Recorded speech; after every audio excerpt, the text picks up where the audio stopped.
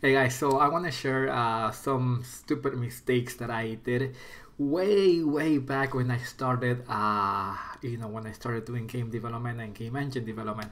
Um, um, I want to share them with you because uh, now that I look back, I'm like, you know what? Um, there were stupid mistakes, but uh, those mistakes helped me uh, along the way to, to eventually uh, gain the knowledge to to to develop a game engine. So let me share my first mistake that I did. Uh, I actually uh, used uh, Dropbox as my version control system.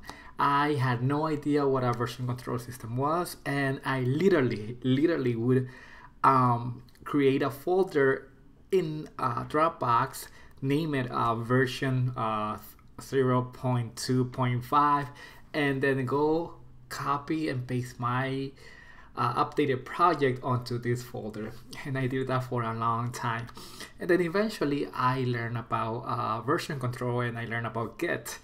Uh, but guess what? I made another big mistake. I ended up using the master branch as the only branch uh, where I would do all the commits and all of that stuff.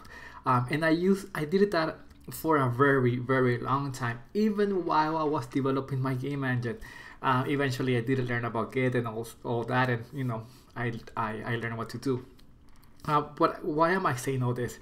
Uh, because in my opinion my philosophy is that um, to become a master you have to start out being a disaster.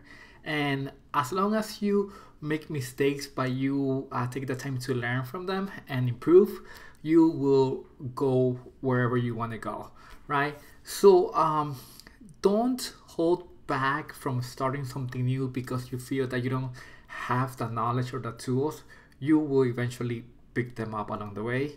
Just start you know start developing something uh, start learning something.